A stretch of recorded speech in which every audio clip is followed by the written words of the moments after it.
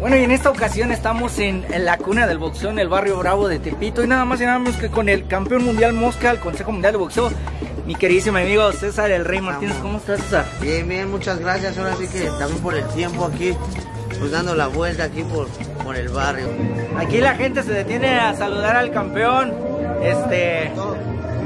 Oye, ¿qué onda, carnal? con 10 pesitos. Órale, ir aquí, toma, no? carnalito. Épate, chiquito. Órale. Ahí está. Aquella anécdota famosa donde Ah, tuviste sí. que poner en su lugar a unos cabrones. Sí, yo iba con mi esposa, unos chavos que querían jugar a loco, que nadie estar ofendiendo, y ellos iban con sus esposas. Y pues yo me bajé y ellos como estaban más grandes, pensaron que me iban a pegar y todo, y nos empezamos a pelear. Y pues no, a los dos los mandaron así que al doctor, a, a urgencia. Me, me demandaron como por lesiones y por, ahora sí que por lesiones. Y fue cuando me agarraron la policía y todo, y ya estaba una, a, tres días de mi pelea. Y yo, yo ya estaba en el, en el reclusorio norte.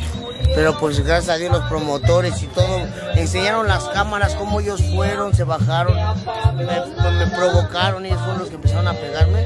Se arregló todo y salí al, al- al- otro día del pesaje. Y no, pues yo sin comer ni nada me dijeron que si me pesaba, y les dije que pues estaba más que en peso, ¿verdad?